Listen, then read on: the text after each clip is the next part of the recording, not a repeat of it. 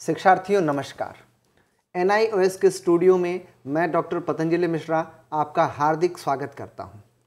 आज जिस विषय पर परिचर्चा करने के लिए हम लोग यहाँ उपस्थित हुए हैं, वह विषय है भारत में भाषा नीतियाँ एवं त्रिभाषा सूत्र इस विषय पर चर्चा करने के लिए हमारे साथ उपस्थित हैं मिजोरम विश्वविद्यालय में सहायक प्रोफेसर के रूप में कार्यरत डॉक्टर कृष्णकांत त्रिपाठी। डॉक्टर त्रिपाठी आपका हम स्टूडियो में हार्दिक स्वागत करते हैं और नमस्कार। नमस्कार मिश्रा जी। नमस्कार शिक्षार्थियों। आज हम काफ़ी रोचक विषय पे एक चर्चा करेंगे। डॉक्टर साहब इस विषय को समझने से पूर्व मैं यह चाहूँगा कि आप हमें और हमारे विद्यार्थियों को यह बताएँ कि भाषा नीति से क्या तात्पर्य है और भाषा नीति को भारतीय संदर्भों में किस प्रकार से देखा जाना चाहिए? जी मिश्रा जी बहुत बहुत धन्यवाद। काफ़ी महत्वपूर्ण प्रश्न आपने किया है। भाषा नीति तो जो हमारी राष्ट्रीय नीति होती है उसका एक हिस्सा है जो यहाँ पर हमारा जो विषय है भारत में भाषा नीतियाँ और त्रिभाषा सूत्र। हम्म। त्रिभाषा सूत्र एक नीति है उस नीति को हमने अपनाया है हम्म। और हम इस पर चर्चा बाद में करेंगे। हम्म। पहले हम चर्चा करते हैं जो आपने प्रश्न किया भाषा नीति कैसे क्या है? जी। क्या है? तो भाषा नीति प्रत्येक शासकीय तंत्र की अनिवार्य गतिविधि है। लगभग प्रत्येक राष्ट्र ने प्रशासकीय कार्यों शिक्षा तथा राष्ट्रीय और अंतर्राष्ट्रीय संवाद हेतु स्पष्ट भाषा नीति का निर्माण किया है। जो हमारे संप्रेषण की भाषा क्या होगी, देश के अंदर हमारे जो जो संपर्क हैं, पत्राचार है, उसकी भाषा क्या होगी? और अंतर्राष्ट्रीय स्तर पे हम किस भाषा में संपर्क करेंगे? और हमारे प्रशासन की भाषा क्या होगी? इन सब चीज़ चीज़, बातों से जो जुड़ा हुआ निर्णय है, उसको भाषा नीति कहा जा सकता है साधारण शब्दों में। राजनीतिक दृष्टि भाषा एक महत्वपूर्ण शक्ति है। और हमारे देश में राज्यों के गठन का मुख्य आधार भाषा ही है जो हमारे जो मुख्यतः जो राज्य का बंटवारा हुआ है हम्म। वो भाषा मुख्य आधार रही है और मेन कह सकते हैं डिसीज़न हम्म। पॉइंट रहा है भाषा हम्म। भाषा एक सशक्त सामाजिक व राजनीतिक पहचान होती है और इसका उदाहरण के रूप में हम बांग्लादेश का जन्म कैसे हुआ आप जानते हैं कि पहले तो भारत का बंटवारा होता है धार्मिक आधार पर उसके बाद पाकिस्तान का बंटवारा होता है भाषा के आधार भाषा के आधार तो राजनीतिक अस्मिता और सामाजिक अस्मिता का मुद्दा है भाषा। हम्म। भाषा नीति शिक्षा नीति का एक अनिवार्य तत्व ही नहीं वरन इसका आधार भी होती है। हम्म। भाषा नीति के आधार पर हमारी शिक्षा नीति निर्धारित हो, निर्धारित हो जाती है। गुणवत्तापूर्ण शिक्षण पाठ पुस्तकों का प्रकाशन कक्षा में अनुदेशन का माध्यम आदि तत्व तो देश की भाषा की नीति के आधार पर ही तय होते हैं। हम्म। और भाषा नीति से कैसे शिक्षा बदल जाती है इससे हम 1835 के मैकाले विवरण पत्र से समझ सकते हैं। हम्म। सुनता से पूर्व ही भाषा से संबंधित राष्ट्रीय नीति पर कार्य शुरू हो चुका था। भारत जैसे अनोखे बहुभाषी देश में यह कार्य आसान न था। हम्म। सभी देशों में किसी एक या कुछ भाषाओं को लेकर नीति निर्धारित की गई है। हमारे देश में भी की गई है। हमारे संविधान में भारतीय भाषाओं को लेकर राष्ट्रीय नीति स्पष्ट की गई है। हम्म। संविधान के हिसाब से भाषा से संबंधित कौन कौन से अनुच्छेद हैं और क्या उसमें लिखा है हम इस पर चर्चा करते हैं। हम्म, हम्म, हम्म। अब संवैधानिक प्रावधान जो है डॉक्टर साहब वो बहुत महत्वपूर्ण होते हैं। विशेषकर भाषा के संदर्भ में हम बात करें किसी भी देश में। संविधान तो सभी नीतियों का आधार है। आधार है। तो भाषा से संबंधित जो नीतियाँ हैं उसमें हम अनुच्छेद जो विशेष भाषा से जुड़े हुए अनुच्छेद हाँ, भाषा से जुड़े हुए संवैधानिक प्रावधानों की चर्चा यदि आप करें तो एक नज़र उस डालते हैं। जी तो सर्वप्रथम अनुच्छेद 29 के खंड एक के तहत भारत के प्रत्येक नागरिक को अपनी भाषा, लिपि और संस्कृत के संरक्षण का मौलिक अधिकार प्राप्त है। और ऐसा, ऐसे उदाहरण मिलते भी हमने पिछली चर्चा में देखा कि बराग घाटी में भाषा के संरक्षण के लेके कितना। विवाद हो गया। और लोगों की जान चली गई ग्यारह लोग ग्यारह लोगों जान तो ये उनतीस में हमें एक मौलिक अधिकार प्राप्त है कि हम संरक्षण कर सकते हैं अपनी भाषा का। अनुच्छेद तीस के खंड एक में धार्मिक और भाषाई अल्पसंख्यकों को अपने पसंद के शैक्षिक संस्थान स्थापित और प्रशासित करने का अधिकार प्राप्त है। अनुच्छेद तीस के खंड दो में राज्य अल्पसंख्यक संस्थानों को अनुदान देने में धर्म या भाषा के आधार पर भेद नहीं करेगा। यहाँ पर एक बात स्पष्ट करना चाहेंगे कि विभिन्न राज्यों में जो अल्पसंख्यक संस्थानों की स्थापना और उनसे उन्हें अनुदान देने की जो परंपरा है उसमें अल्पसंख्यक धर्म के आधार पर जो अल्पसंख्यक हैं उन संस्थानों के लिए तो स्पष्ट नीतियाँ बनाई गई हैं लेकिन भाषाई अल्पसंख्यक संस्थानों की पहचान करना और उनको उनको अनुदान देना इनसे संबंधित स्पष्ट नीतियाँ नहीं दिखाई दे रही हैं हम्म, हम्म, हम्म। इसका मतलब डॉक्टर साहब केवल अल्पसंख्यक शब्द जो है वो धार्मिक आधार पे धर्म नहीं का धर्म से जुड़ा हुआ नहीं है भाषा से भी जुड़ा हुआ है। भाषा से भी जुड़ा हुआ भाषा से भी जुड़ा हुआ है। इसे संघीय भाषा जो हमारी है संविधान में स्पष्ट रूप से लिखा है अनुच्छेद तीन में कि हिंदी भारत की राजभाषा घोषित हम्म, की गई है उसमें। और अनुच्छेद तीन दो के माध्यम से अंग्रेज़ी पंद्रह वर्ष के लिए भारत की राजभाषा स्वीकार की गई। हम्म। राजभाषा अधिनियम उन्नीस के द्वारा पंद्रह वर्ष के उपबंध को समाप्त कर दिया गया है। इस प्रकार ये दोनों ही अनुच्छेद स्थायी हो गए हैं। और अंग्रेज़ी और हिंदी हमारी राजभाषा हो गई संविधान के अनुसार। अनुच्छेद 345 राज्य अपने क्षेत्र सीमा में बोली जाने वाली भाषा या भाषाओं को शासकीय प्रयोग की भाषा के रूप में अंगीकार कर सकते हैं और इस भाषा को क्षेत्रीय भाषा की संज्ञा दी गई है संविधान में। अनुच्छेद 350 कोई भी व्यक्ति अपनी व्यथा के निवारण हेतु किसी संघ या राज्य सेवा के अधिकारी को अभ्यावेदन देने के लिए संघ या राज्य में प्रयोग होने वाली किसी भी भाषा का प्रयोग कर सकता है। जैसे उत्तर प्रदेश में उर्दू है, हिंदी है, और चाहे वो संघ का अधिकारी हो, केंद्र सरकार से जुड़ा हुआ अधिकारी हो या राज्य सरकार से जुड़ा हुआ अधिकारी हो, अगर हमें कोई प्रार्थना पत्र देना है तो हम उसे राज्य की भाषा में भी दे सकते हैं और संघ की भाषा में दे सकते हैं। हिंदी, अंग्रेज़ी, उर्दू में दे सकते हैं या अपने जैसे तमिलनाडु है तमिल में दे सकते हैं। मतलब आठवीं अनुसूची की जो बाईस भाषाएँ हैं हाँ, क्या उनमें उसमें, हाँ, उसमें दे सकते हैं? उनमें उनमें दे सकते हैं। या किसी जैसे में जो आठवीं अनुसूची की भाषा नहीं है नहीं है। लेकिन राज्य की क्षेत्रीय भाषा है तो इसमें भी दे सकते हैं। अच्छा ये है तो राज्य द्वारा स्वीकार की हुई भाषा हो और संघ या। या संघ द्वारा हो उनमें अभ्यवेदन दिया जा सकता है। मातृभाषा में अनुदेशन की भी व्यवस्था हमारे संविधान में दी गई है जो जैसे अनुच्छेद 350 का खंड आ है उसमें राज्य और स्थायी स्थानीय प्राधिकरण भाषाई अल्पसंख्यक बच्चों के लिए। प्राथमिक स्तर तक मातृभाषा में अनुदेशन की व्यवस्था का प्रयास करेंगे। जैसे अन्य आयोगों द्वारा भी संस्थी की गई है कि क्षेत्रीय भाषा मातृभाषा के रूप में अन्वेषण की भाषा रहे। लेकिन जो जनजातीय बच्चे हैं और जिनकी भाषा क्षेत्रीय भाषा नहीं है तो उनके लिए कम से कम दो वर्ष तक उनकी भाषा में अन्वेषण हो शिक्षक उनकी भाषा में बातचीत करके उनको पढ़ाएँ उसके बाद अ, हमारी क्षेत्रीय भाषा के माध्यम से वो पढ़ने लगे। तो ऐसी भी संस्थि पहले की जा चुकी है। तो वहाँ ये यहाँ संविधान में भी अल्पसंख्यक जो भाषाई अल्पसंख्यक हैं उनके बच्चों के लिए मातृभाषा में अनुदेशन की व्यवस्था करने के लिए कहा गया है। अनुच्छेद 350 के खंड बा में भारत के राष्ट्रपति महोदय भाषाई अल्पसंख्यकों के हितों की रक्षा के लिए विशेष अधिकारी नियुक्त कर सकते हैं। संविधान की छठवीं अनुसूची के माध्यम से स्वशासी जिलों को प्राथमिक विद्यालय स्थापित करने और उनमें अनुदेशन की भाषा तय करने का अधिकार प्राप्त है। ये स्वशासी ज़िले मुख्य रूप से जो पूर्वोत्तरी राज्य हैं मिजोरम है असम है इन राज्यों में स्थापित किए गए हैं। उनका थोड़ा ऑटोनॉमी ज़्यादा है वो डायरेक्ट उनको फंडिंग होती है और राज्य सरकार का उनके विकास में हस्तक्षेप कम होता है। वो खुद अपने एक काउंसिल बना के काम करते हैं। उनमें वो प्राथमिक विद्यालय भी स्थापित कर सकते हैं और उनके जो विद्यालयों में अनुदेशन की भाषा क्या होगी शिक्षण के माध्यम की भाषा क्या होगी उनकी भी उनका निर्णय वो स्वयं स्वयं कर सकते हैं। संविधान की आठवीं अनुसूची में वर्णित 22 भाषाओं की सूची से आप समझ सकते हैं कि भारत बहुभाषिक नीति अपनाई गई है। सभी भाषाओं को भाषाओं को यहाँ पर महत्व दिया गया है। जैसे आठवीं अनुसूची बाईस में भाषाएँ कौन सी हैं ये जैसे असमी है बंगला है डोगरी है गुजराती है हिंदी है कन्नड़ है कश्मीरी है कोंकणी है मैथिली है मलयालम मणिपुरी मराठी नेपाली उड़िया पंजाबी संस्कृत संथाली सिंधी तमिल तेलुगु और उर्दू। इन 22 भाषाओं को स्थान संविधान की आठवीं सूची में दिया गया है और भारत सरकार इनके विकास में सहयोग करती है। सहयोग करती है। और जो संविधान का मूल पाठ था उसमें चौदह भाषाएँ थीं।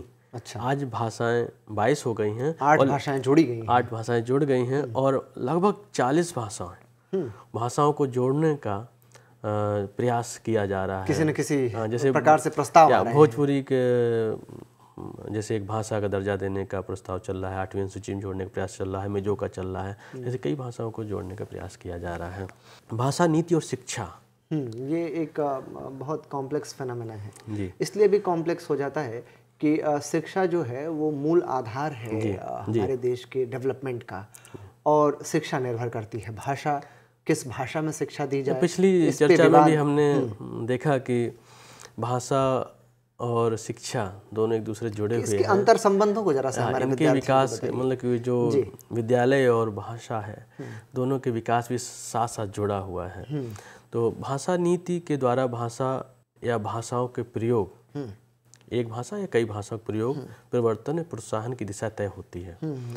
जिससे शिक्षा प्रशासन और संचार आदि क्षेत्रों में भाषा विशेष के प्रयोग के विनिर्दिष्ट किया जाता है। देश की भाषा नीति के आधार पर ही भाषा शिक्षण की रूपरेखा और शिक्षण के माध्यम भाषा का निर्धारण होता है। शिक्षा संबंधित कोई भी आयोग या समिति भाषा पर विचार ज़रूर करते हैं, जिसके निष्कर्ष रूप में हमारी भाषा नीति इस प्रकार बनी है।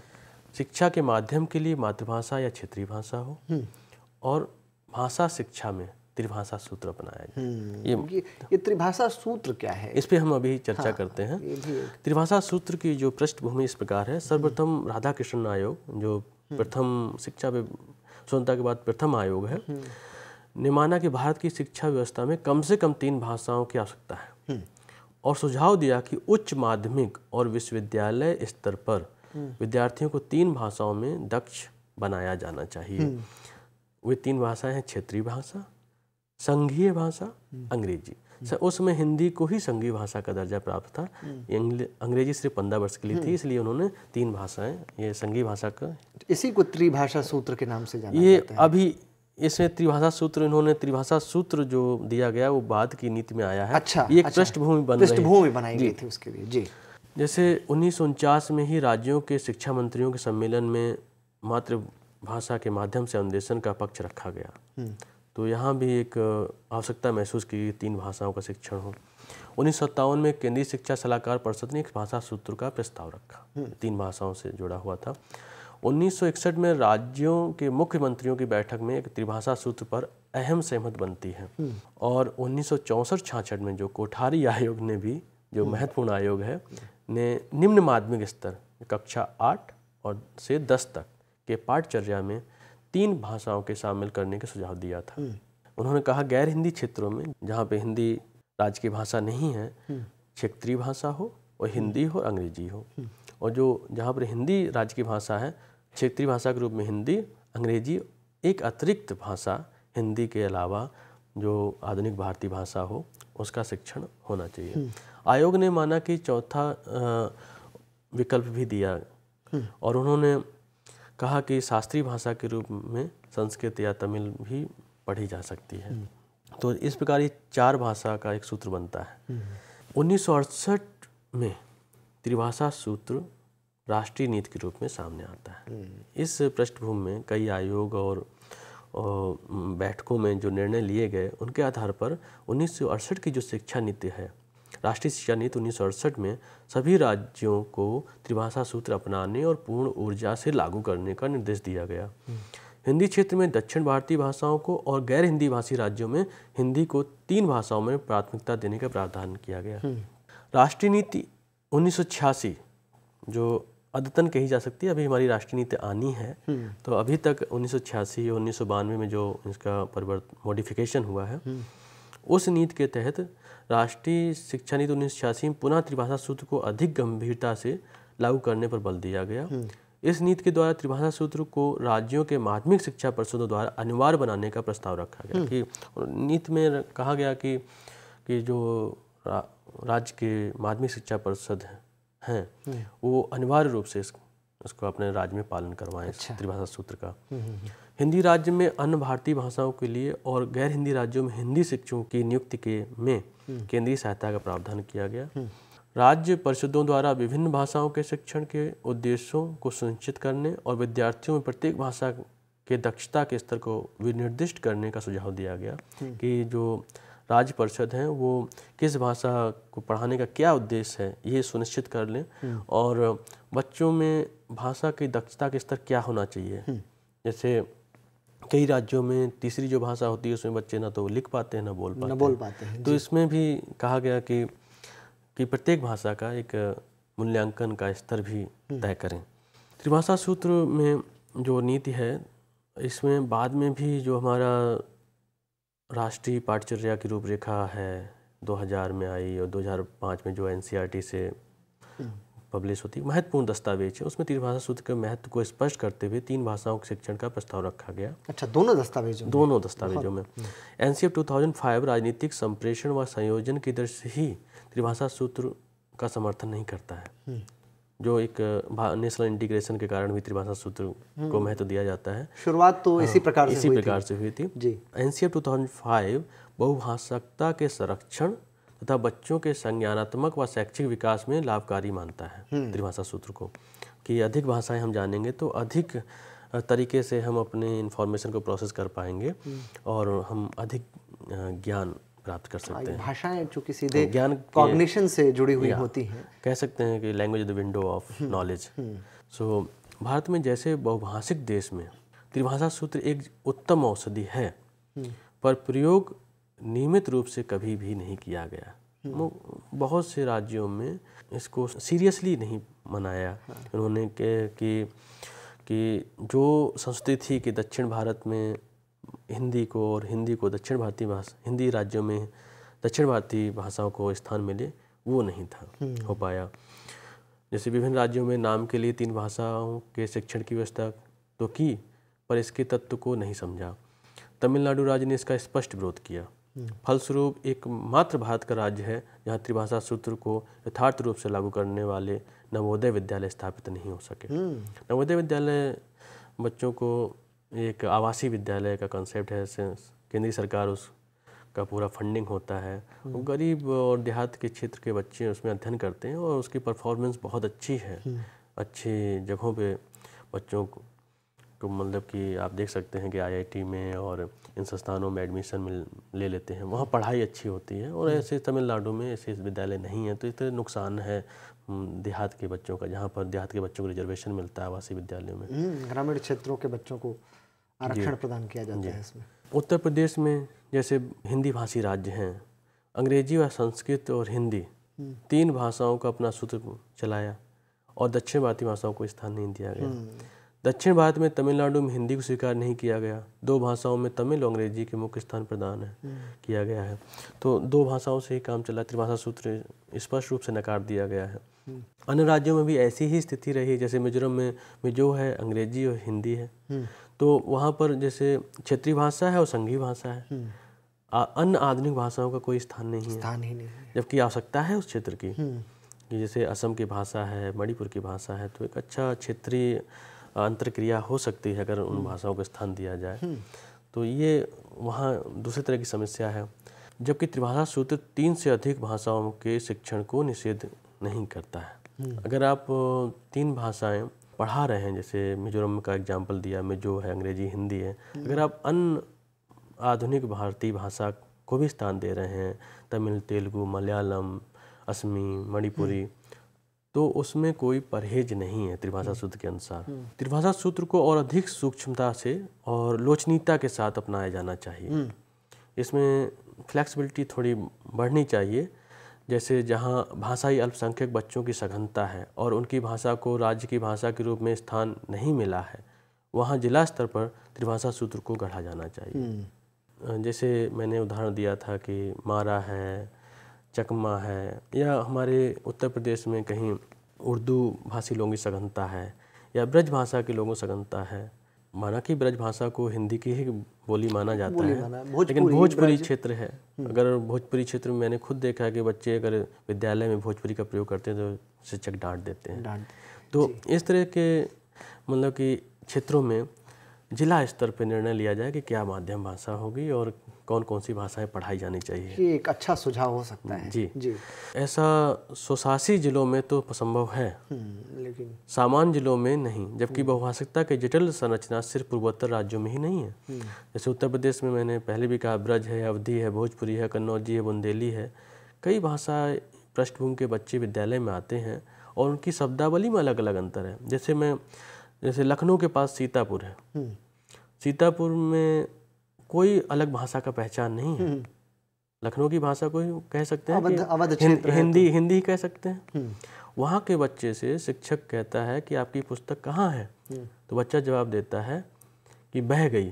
हम्म, और अगर कानपुर क्षेत्र का शिक्षक है और बह गई का मतलब क्या समझेगा जी? पानी में कहीं तो शिक्षक पूछता है कि क्या बाढ़ आई थी? हाँ, तो बच्चे सब हंसने लगे। हम्म, क्योंकि बाढ़ का कोई संभावना नहीं उस क्षेत्र में। हम्म, तो बगल में जो एक शिक्षक खड़े तो उन्होंने कहा सर बह गई का मतलब होता है खो गई। खो गई। तो ये इतना शब्दावली का अंतर है बच्चों की शब्दावली में। तो हम कैसे एक मानक भाषा को लेके चल सकते हैं? हम्म, हम्म। डॉक्टर साहब ये बहुत एक संरचना जो है भाषा की कुछ इस प्रकार से होती है जो कि कई तरह की बहुभाषिकता और तमाम चीज़ों की वजह से हमारे परिवेश को और हमारे समझ को इतने गहरे तक प्रभावित करती है। अब इस पे एक विशिष्ट बात मैं आपसे जानना चाहूँगा। जी। वह यह है कि एनसीएफ 2005 ने एक टर्म दिया बहुभाषिकता। जी। ने कहा कि मल्टीलिंगुअलिज्म जो है ये बेहद महत्वपूर्ण है। तो त्रिभाषा सूत्र के संदर्भ में आप इसको कैसे देखते हैं? इसको एक अवसर के रूप में देखते हैं इसको एक चुनौती के रूप में देखते हैं आप इसको कैसे देखते हैं? अभी तक तो जो बहुभाषिकता का जो मुद्दा संप्रत्यय है। इसको हम लोग समस्या के रूप में देखते रहे। एनसीएफ 2005 के बाद जी। इसमें एक नया पक्ष जुड़ता है कि एक अवसर है। हमें एक बहुभाषिकता को अवसर समझना चाहिए क्योंकि हमारे विभिन्न भाषाओं से बच्चे आते हैं। और ये मैंने पहले भी कहा कि अधिक भाषाओं को जानने से हम अधिक ज्ञान की प्राप्ति कर सकते हैं। भाषा ज्ञान का माध्यम है समझ का माध्यम है। और हम अगर दो तीन भाषाएँ जानते हैं तो दो तीन तरीके से हम उस किसी भी सूचना को संप्रेष उसका प्रसरण या प्रोसेस कर सकते हैं। तो अगर हम ये एक एक कक्षा है उसमें दो तीन भाषा के बच्चे हैं तो एक दूसरे की भाषा भी सीखेंगे एक दूसरे की भाषा के शब्दों को भी जानेंगे और एक दूसरी भाषा के संस्कृति में जो शब्दावली है उन उनके जो शब्द से किसी वस्तु या व्यक्ति के गुणदोष भी पता चलते हैं ना। तो उस सब का ज्ञान होगा। मान लो कि हमारे यहाँ कोई जड़ी बूटी मिलती है जैसे उत्तराखंड में है उस गढ़वाली में कुमायूनी में कोई नाम है अगर गढ़वाली और कुमायूनी भाषा खत्म हो जाएँगी तो उन जड़ी बूटियों की पहचान और गुण दोष भी खत्म हो जाए हो जाएँगे। तो ये बहुत बड़ा नुकसान होगा और ये बच्चे अगर बहुभाषिकता का एक माहौल हम बना लें अपनी कक्षा में बच्चे किसी भाषा में बोलने और बात करने के लिए स्वतंत्र हों तो हमें ये एक ये एक तरीके संसाधन क- के रूप में के रूप में इस्तेमाल हो सकता इस्तेमाल है। हो सकता है। तो इसका मतलब ये है कि बहुभाषिकता जो है वो बहुसंस्कृति को बढ़ावा देने का एक बहुत सहज सरल माध्यम संस्कृति और सांस्कृतिक ज्ञान है और संस्कृति के साथ जुड़ा हुआ जो अन्य ज्ञान भी है जैसे मैंने जड़ी बूटियों का उदाहरण दिया या जो और भी ज्ञान है विज्ञान के क्षेत्र में जो रोज़मर्रा का विज्ञान है उससे जुड़ी हुई जो जानकारियाँ हैं वो भाषा विशेष में है छिपी हुई हैं और उनको मतलब कि हमें प्रश्रय देना है। आ, इस प्रकार से विद्यार्थियों आपने देखा कि डॉक्टर कृष्णकांत त्रिपाठी जी ने बहुत ही सहज तरीके से भारत में विभिन्न शिक्षा नीति और त्रिसूत्र जो फार्मूला है भाषा को लेकर के, उस पर बहुत आसान तरीके से और बहुत वस्तुनिष्ठ तरीके से प्रकाश डाला। हम इसके लिए आपका हार्दिक धन्यवाद करते हैं, आपका हार्दिक आभार व्यक्त करते हैं। त्रिपाठी सर, नमस्कार। नमस्कार सर, नमस्कार शिक्षार्थियों।